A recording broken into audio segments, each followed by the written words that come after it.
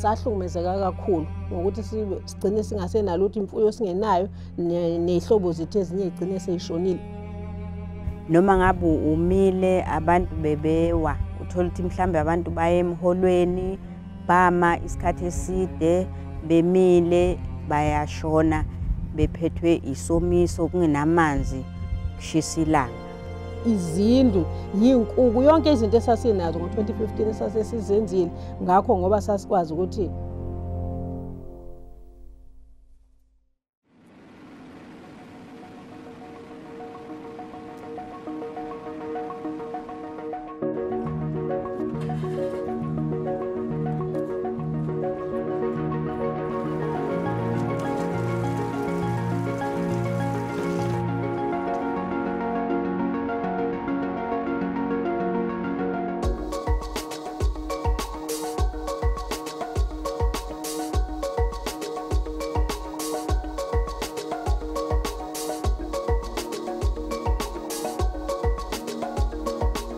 usiyayisiza wasukwazi ubusuqala usukusinikeza nama-training ukuthi njengoba siyakwazi ukuyiphilisa ake sikwazi futhi nokuthi sibeke okuncane kulokhu esisuke sikuvunile.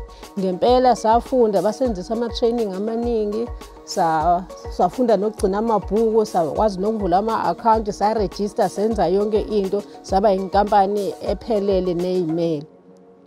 Ukulima lapha engadini siyalima sifakela ey'tolo emakethe nokusiza umphakathi sifakela kwanongoma nasolundi.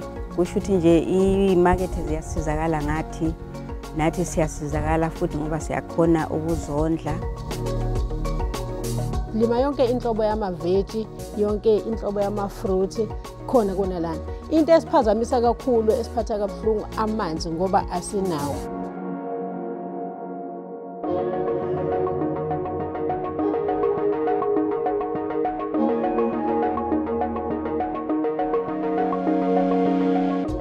Okusiphatha kabuhlungu kakhulu njengoba amanzi engaphumi njena njengoba amanzi singenawo nje.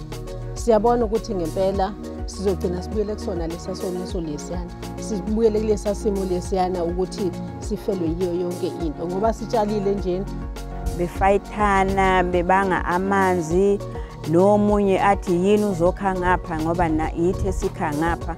Manje sinovalo okokuthi nje asazi ukuthi singathola kanjani ukuhelpwa ngamanzi. Sihlale nje sazi ukuthi nje sinamanzi nasemakhaya kunamanzi. Sikwazi nje ukuphila lo mpilo esazi ukuthi isomiso ngeke siphinde sisihluphe.